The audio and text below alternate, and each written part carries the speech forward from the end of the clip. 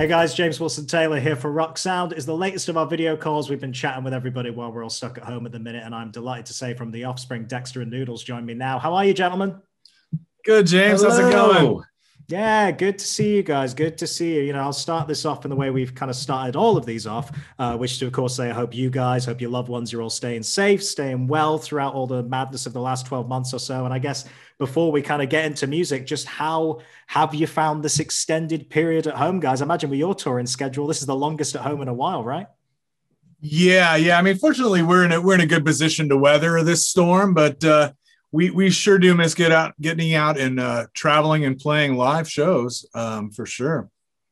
Yeah, it definitely looks like at least from the stuff you guys have been putting online, what with the the cover versions and some green screen fun, at least you get a chance to, I suppose, have a bit of fun that you wouldn't necessarily be doing, right? Yes, you can tell we've been bored, can't you? Right? Yeah. We, we covered a song on Tiger King. It's this outrageous reality show. I'm not even sure if it's out outside the U.S. You know, but oh no, we've seen it. That's oh, a worldwide okay, phenomenon. Don't you worry. He has made it worldwide now. It's all yeah. good. Yeah, yeah. Somebody needed to cover one of those songs. I saw some dad posted a video of him and his kids watching the. He puts it on. He's he puts it on with his really young child, and she wants to see the kitty video, and she's rocking out. She knows all the parts then his daughter comes in dancing around. Then his son comes in dancing around. His whole family, this whole family's watching. Wow. Yeah, our version of Here Kitty. See, we're bringing kids together, Bring people so, together. Kid, kid approved. Yeah, it was a funny video. I tweeted that out today. Yeah, nice helping out the families in this strange time, bringing them all together. That's some good family entertainment right there. Um, well, let's let's get into music, man. I mean, this is really really exciting. The new album is kind of imminent at the time of recording here.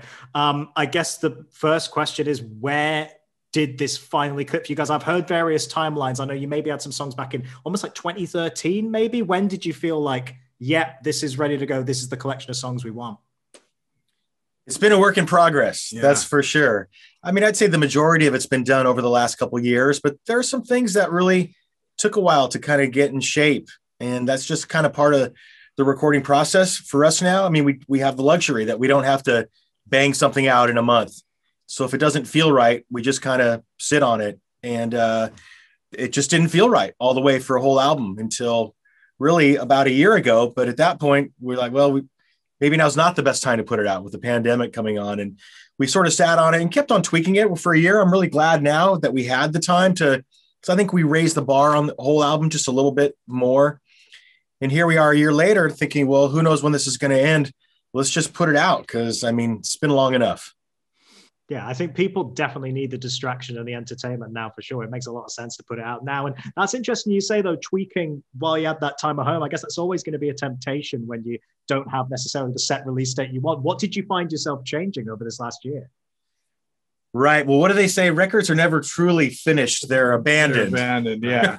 right? Yeah. You could go on forever and ever. Well, uh, and, and, I want to say, even wouldn't you say honestly, about two or three years ago, we thought, well, we're we're pretty close to being done. And then at that time, all of a sudden, we got in the studio and had this really kind of creative, you know, time where we were kind of with brand new songs. Just you know, we'd come in and like at the end of the day, we'd have a whole new song, um, and that happened quite a bit over that time, over the last couple of years. And then we, you know, we were definitely going, okay, we're close. We we just got to, you know, top this off, and we're ready to put it out. And then the pandemic hit.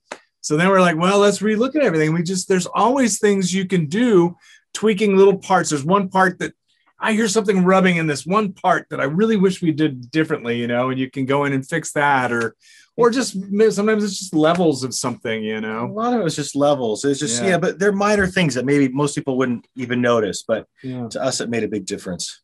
Yeah, absolutely. Um, I mean, I want to dive into the single that's, of course, out there now. It's the title track. It's "Let the Bad Times Roll." Um, I, I guess the obvious question there is why take that song as being the title for the record as a whole. What do you think it is about that particular track that's summed up what you want to put out in the world with this new record? Well, the phrase sums up the world. yeah, yeah. over the over the last the last few years, and you know, while you know, it looks like hopefully better times are on the horizon. We're still we're still the bad times are rolling still. I think. Yeah. So, uh, well, like you you made the point that it's not just we've been handed this shit show that we don't really have any control over. Might as well make the most of it. On top of that, we have uh, world leaders that are that are in don't seem to want to change anything for the better. They're like, you know, let's let's they're rolling the bad times, and you know, this is yeah. this is fucking no joke. This is yeah. like the world's in a bad place right now, and I have felt like the leaders are not really trying to make it better, like not the way they should, not the way they would have a generation ago.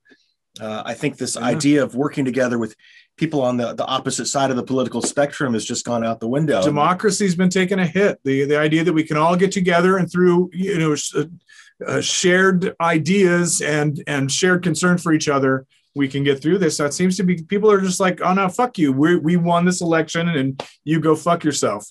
And that's that's not you know that's not right. You know, or uh, we're in power. We don't want to hear from you. You know, you can't you can't you can't have uh yeah a, a, civilized society that way and, and, that's that's heavy that's a serious message that we wanted to get across and at the same time i mean geez you can only hammer that so long before you're just the bummer at the party right so i think that's the flip side of the same statement let the bad times roll. Is almost kind of like we're here we got to roll with the punches a little bit. And the chorus of that song kind of sums it up makes it a little bit lighter. And uh, so it just it, it kind of felt like this is what the tone of the record should be. This is the underlying message of the whole thing yeah, it's got a really upbeat tone to it. But I thought it was interesting the quote that's kind of doing the rounds of the minute in all these, you know, press releases and when everything launches. Uh, Dexter, you were saying it's the most cathartic record you think you guys have ever done. I wonder if you could expand a little bit on that. What is it you think about this particular collection you've been working on that felt so cathartic to you? Yeah, you know, when when we were coming up and listening to bands, punk bands spoke to us the most because they would they weren't afraid to talk about things that weren't happy. You know, it was definitely way different than other popular forms of music at the time. Right. And it really resonated with me because it felt like, well, for one, someone else understands what I'm feeling, right? But it was there was also a way of kind of like it helped you to get the feeling out in a way just by listening to the song or or getting with the song. And and I find that we we get these kinds of messages from our fans when we do something that dark, even something that I think maybe is too dark. If I'm writing a song about suicide or something, I'll hear from kids or people that just say, this song really helped me get through a tough time in my life or uh, you know people sometimes like you know and, and i don't know if i can really accept this fully when they say this album saved my life you know like right. that's a really nice thing to say and uh really gone away is the one song that, that that kind of makes sense you know but you can't you can't think of that when you're when you're creating a song you know you just try to have an honest uh you know telling of of a feeling and emotion and idea you can't worry about what effects that's going to have on people. But that being said, we we do get a lot of people that say "Gone Away" is just a, a very meaningful song to them, and it kind of makes sense because it's about such a serious topic, you know. And and that's something we've been doing uh, in our live version, stripping it down and doing this piano version, and so you know we tried to keep that i don't remember what the question was but, but that, that's how we ended up that's how we ended up doing I hope that our album is yeah. cathartic to other people the way that God, I knew there was I knew there was a tie-in. I just couldn't remember what it was.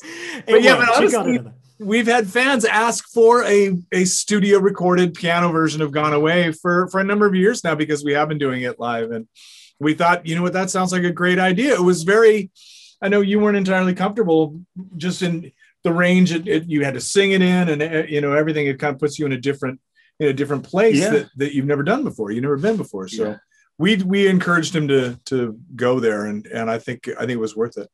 Oh, absolutely. It's it's definitely a standout moment for many reasons on there. And I'm, I'm glad you kind of mentioned it because I guess it must, even though you have been playing it live for quite a few years in that slightly different format, it must still be quite daunting to know that that is a song that not only is a classic of yours and obviously very popular with the audience, but like you've said, means a great deal because of the subject matter to people as well. Did it did it feel daunting at all to go back and revisit and think, God, better not better not mess this up, I guess. Better not mess it up. yeah, right.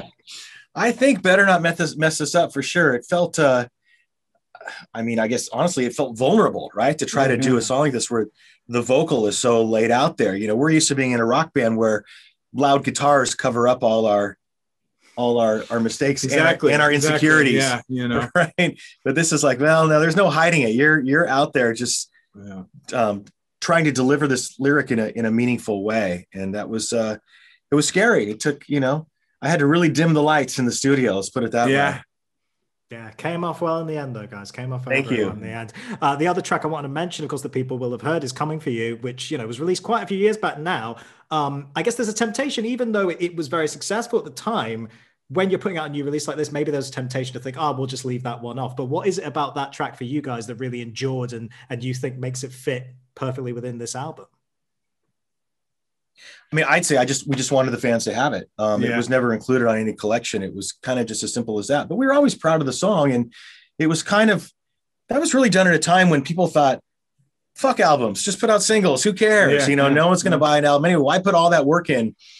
And it had been a few years since we'd put out anything, and so we did put out the single, and and I liked the song a lot, and I was proud of it and stuff. But it just didn't feel the same. It was kind of like a turning point for us, where all of a sudden it was like, you know, this isn't the way I want our band to operate. I think we're we're a band and we make records, and that's what we should do. Right. When that when that came, you're talking about coming for you, right? We Yeah. have, to, you have to make sure I'm on the same page. When that song came out, we were recording, you know, off and on, and you were go you were going to school, getting your PhD. But I think we always intended to have a full length record that that would be part of. Um, at least I remember saying that in interviews, unless I was. Well, we Yeah. were, we were talking about should we just do an EP? You know, that's what we everyone did, else is doing. yeah, we discussed it, but you know, I always thought the end- I thought the end idea was uh, eventually to have a have a whole record out.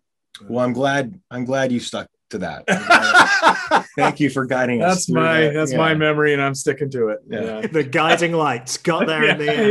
Yeah. Got there in the end. Brought it through. Um, and speaking of, you know, of kind of looking back with things like Gone Away and stuff, I do want to mention as well the other thing you kind of celebrated recently was the 20th anniversary of Conspiracy of One, of course. And I just wanted to get some kind of reflection on that time because I certainly feel like I remember when that record came out, it felt like particularly in the UK, that was a real moment for you guys. You know, it was festival headlines, it was, you know, all these kind of big, big moments over here, particularly with the UK audience. Uh, what do you kind of remember of that time, I suppose, about those shows, that kind of reception for, you know, what clearly remains one of your classics in the discography? Yeah, that was a real busy, busy time for us because really, uh, Ixnay, Americana, and Conspiracy of One kind of came hot on the heels of, of, each other. Mhm. Um, I think probably less time between Americana and Conspiracy than any other record we've done. yeah. Um, I mean, Americana just kind of took off for us, which was really great. It's But it was yeah. it was almost like when Conspiracy One came out, that's when it all kind of came in, and all of a sudden we were doing Wembley and stuff that we had never done before. So it was kind of like it did kind of feel like our biggest moment in the UK.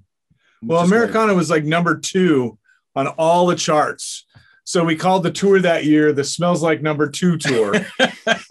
That's right. That's And right. then we rolled that right into the Conspiracy of One tour. Oh. Um, Smells like two conspiracy of one. There we go. Yeah.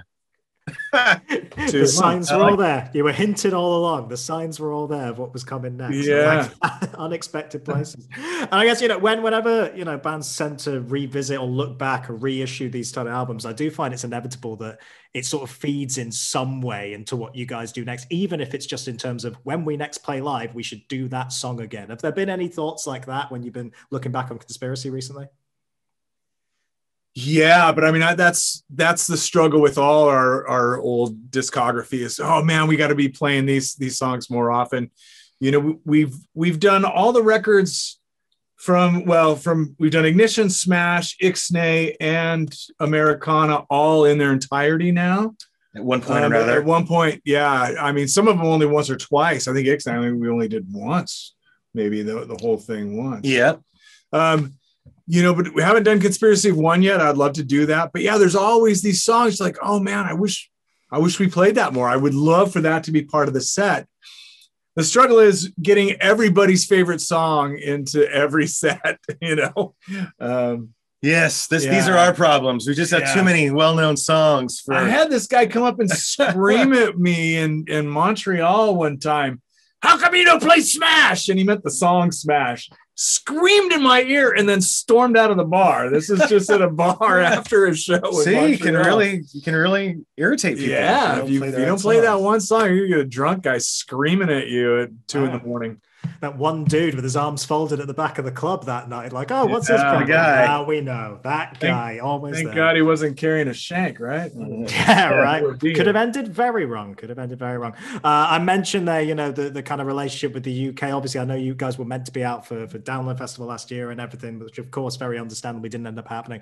But you must feel that reaction every time you guys come over and play here live. The love's still there and it, it feels like it never went away. Talk to me a little bit about that relationship specifically with uh, with UK fans. It feels feels kind of different from the rest of the world for some reason. There's a certain sense of humor that that you find in the UK. You, you know, it's it's a predominant sense of humor that I think you're always taking the piss, right? You know, uh, it's very sarcastic. You're you're finding the humor and shit that's not really funny. You know, um, yeah, that's like, a great like point. what we've seen the last four years, and and I think so. We've always kind of connected with that. Um, you, you, know the festival audiences are just brilliant just so much fun huge over the top um, going back to the, the, first thing, I don't know what was the first festival we did, but we've done Reading and Reading. Leeds a bunch. We've done uh, Donington, you know, the Monsters of Rock now, and download, of just course, download, yeah, download now. Even Glastonbury way back in the day. So yeah. the festival thing was huge for us, and I think it got us, it got them to know us, I guess, by going back and doing right. Reading a few times and stuff, and it's just been great ever since. And it's not just the festivals. We've we've done everything from theaters to like the the clubs, and it's yeah. Um, the shows are just Brixton off, Academy was it, I think we played there the night before the Brexit vote, and we did we covered should I stay or should I go? yeah. The Clash. For, we did for that. We did, yeah. and they went nuts. It was hilarious. Yeah. They really got they got the joke. So yeah. thank nice you. Touch. Nice touch that one. I like. Thank that. you for giving us the material. um, before I let you guys go, you know, I've got to kind of ask what's next. I, I have found with a lot of these conversations we've been having, because there's no touring at the moment, we hope it comes back soon. But you know, everyone's just kind of been sat around thinking, ah, what else can we do? What else can we put out there? Obviously, this record's still to drop, which is the most exciting part. But have you already thought about what might come next, or any little side things going on? What can you tell us?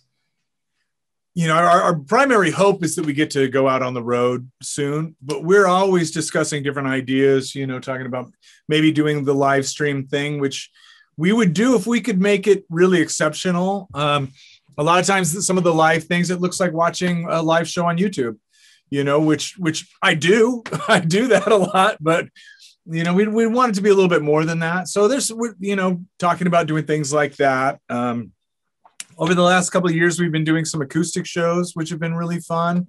Uh, do that in a, in a smaller club, and it's a little bit more intimate and more of like us telling stories and sitting around a campfire playing acoustic guitars. Um, hopefully, we get to do some more of that. That's always really fun. But of course, what we really want to do is get out there and play shows, and unfortunately, we just don't know when that's going to happen. Once it's yeah. safe for all of us to get together, though, we're we're on it. Until then, everyone, please stay safe. Uh, I've heard you guys might be some of the first people we come see because you guys are doing so well on your yeah. vaccination. Congratulations. I mean, fingers, fingers crossed. We're hopeful that there might be some shows this year. Wouldn't that be a lovely, lovely thing? And I, and I guess you guys again will be in a position that a lot of bands will be in where uh, unlike previous tours, perhaps by the time you guys are hitting the road, everyone's going to know this record inside out, back to front. It's going to be a nice kind of different reaction for you, I suppose. Which is great. Yeah, so they can spend some time with it. I wish I wish we were out on the road right now, though. That being said, you know, oh, I really gotcha. do. Gotcha, yeah. of course. Yeah. On the live stream front as well, actually, I'll leave you with this. Is there anything that's particularly caught your eye? What I've loved is how every single live stream show by every single band has been very radically different and really tailored to what they're trying to do. Have there been any you guys have watched over these last few months that have uh, particularly caught your eye?